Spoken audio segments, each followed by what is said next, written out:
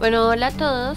Bueno, acá simplemente van como mirar la medida que quieren para la foto, pues ahí les estoy dando como eh, la medida que sería de 10 por 15, pero pues si quieren otra medida pues lo pueden hacer. Simplemente pues en la cartulina pues cortan eh, la medida eh, en la cual quedará como el sobrecito donde irá la foto. Con cinta doble cara de la gruesa de la que parece como foamy van a cortar pequeñas tiritas, pero lo más delgadito que puedan, para darle un poco de realce al momento de, hacer el, el, sobrecito. Acá marcan la mitad y cortan como en forma circular. Esto se hace con el fin de que se pueda sacar la foto más fácilmente. Y bueno, acá simplemente pegan la, la cinta doble cara en los extremos, en las tres partes eh, para darle un poco de realce y que no quede como tan espichada la foto y se pueda como sacar o meter fácilmente. Y cortan simplemente los sobrantes. Como ven es una línea muy muy delgadita que casi no se ve. Ahora simplemente tomamos como las medidas para poderlo pegar y que nos quede muy derechito.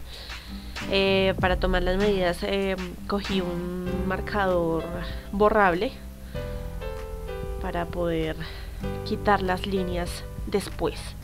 Y bueno acá simplemente con mucho cuidado vamos a, pegarlo procurando que nos quede lo más derechito posible derecho y centrado. Yo lo estoy haciendo de forma horizontal pero ustedes también pueden hacerlo de forma vertical dependiendo pues la foto que quieran. Y pues simplemente siguen los mismos pasos y ya el procedimiento es exactamente el mismo. Y bueno ahora simplemente pues metemos la foto miramos que quede bien y vamos a pegar el tornillo. Entonces acá es cuando van a decidir si quieren la foto vertical o de manera horizontal. Marco también la mitad en este caso sería de 10 y trato acá como de marcar el centro para poder pegar el tornillo. Si pueden conseguir uno más delgadito y que no tenga las liniecitas será mucho, mucho mejor. Eh, pues yo no, no, lo encontré, sin embargo este es súper resistente, entonces pues por eso lo puse. Y listo, como es supremamente sencillo y son cosas que tenemos en la casa o son muy fáciles de conseguir. Y bueno, ya simplemente queda la parte divertida, que es la parte de decorar. Acá simplemente estoy usando cintas decorativas como tape y ya bueno el resto corre por su imaginación. Pueden usar otro tipo de cosas botones tela calcomanías. Bueno no sé ya echen a volar su imaginación y así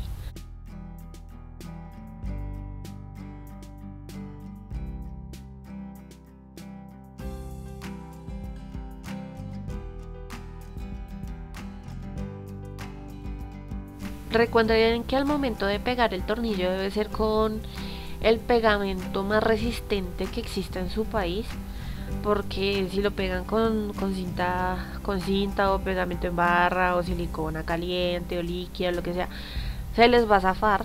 Entonces es mejor usar un pegamento como resistol o cosas así súper fuertes que existan en su país para poder fijarlo bien bien bien y que no tengamos el problema de que se cayó y se esportilló y bueno, en fin. Y bueno, simplemente estoy poniendo como botones, algunas tiritas, eh, cinta, como este pequeño letrerito también en relieve, gemitas. Lo hice muy rosita, pues porque son niñas y son mis ahijadas, entonces como para que se viera así súper no sé, identificado que son como kits y cosas. Y así como un poquito vintage y, retro, bueno, no sé, es una combinación rara. Pero como ven es supremamente fácil y queda muy, muy, muy hermoso. Pueden hacer cuantos quieran, se va a ver súper precioso.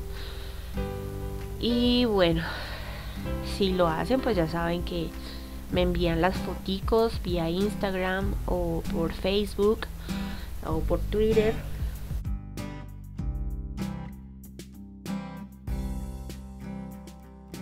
Más gemitas, color rosa. y ya quedaría terminado nuestro portarretrato. Me encantó la verdad el resultado, es supremamente bello. La verdad quiero hacer muchísimos más, espero también se animen a hacerlo y le haya gustado. Y si fue así, no olvides comentar, suscribirte y darle like. Muchas gracias y que Dios te bendiga. También les dejo mis redes sociales y nos vemos en una próxima ocasión.